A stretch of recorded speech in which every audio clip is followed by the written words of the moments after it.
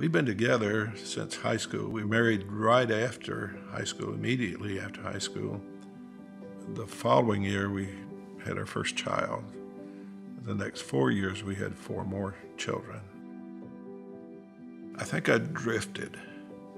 I'd run from responsibility. I'd leave her alone with the children, and I would be out uh, with my friends uh, at that time drinking, a lot of times gambling, and, and paychecks would be gone. God wasn't in the picture to begin with. I just started having babies, and I came from a divorce situation. I wasn't going to have a divorce in our family. Uh, I wanted this family. I didn't really know about a lot of the drinking. I knew some of it, but I didn't know to the extent of it. I just kept thinking, if I do enough, God will make this stop for us. When we did go to church, I did I felt more guilty than anything. I didn't understand what grace was. I don't think I really realized that, that John was involved in drugs.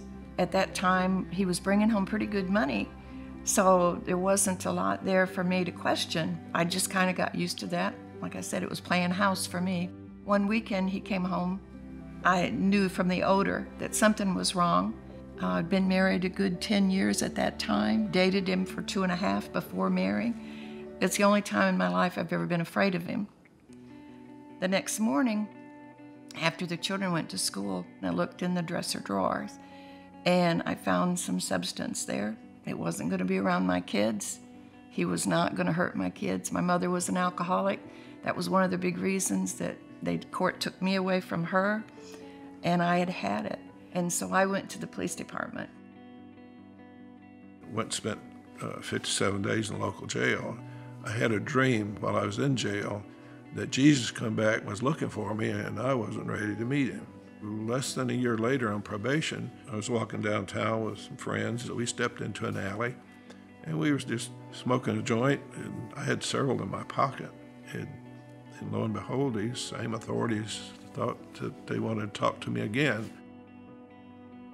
I was facing uh, some pretty serious charges. So I got to go to uh, a big time prison. I made up my mind then that I would stay with him, I would do whatever it took to get him through it. My lawyer was convinced that 30 days I would uh, be able to come back home. And I went down, I think around 1st of October, Christmas came, and I was still sitting there in, in prison.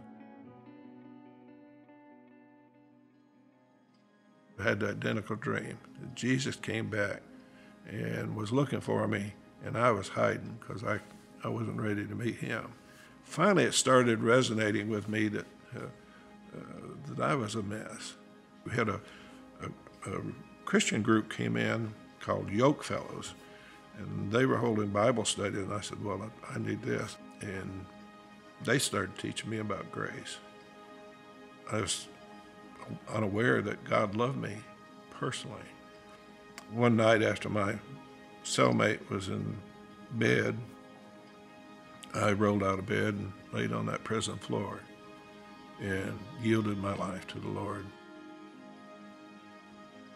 He had he wrote to me and told me he had something really exciting to tell me, and I couldn't believe I couldn't figure out what it was going to be. It was not until he came home that uh, he told me about the really a conversion, the breaking of his heart and opening it up. He started participating in church, and it wasn't a thing of hey, wake up, you've got to go. He was the one wanting to go, so it made it much easier to go as a family.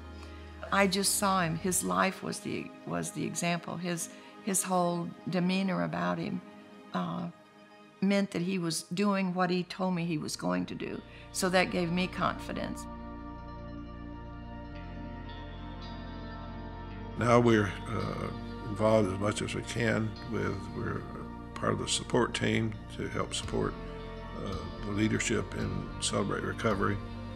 The Lord is really being able to utilize me uh, and my talents at this point in my life to help others who are struggling with some of the same things that I've struggled with in my life.